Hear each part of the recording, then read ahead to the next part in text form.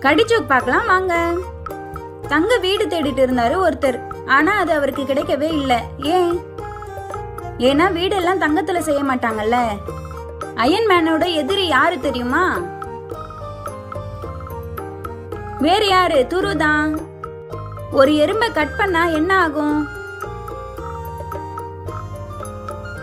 கட்டெரும்பா மாறிடும்.